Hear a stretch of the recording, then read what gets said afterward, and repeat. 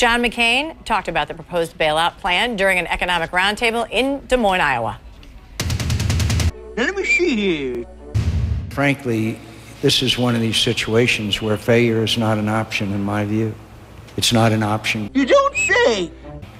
because of the consequences of us not fixing this very broken situation. Busy, Sonny, busy.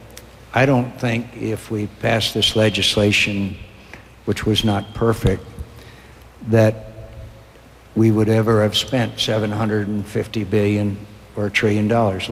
66%, eh? Think of that. Well, how's it work?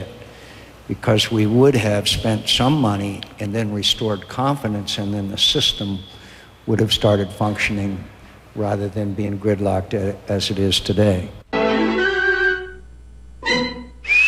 That works swell.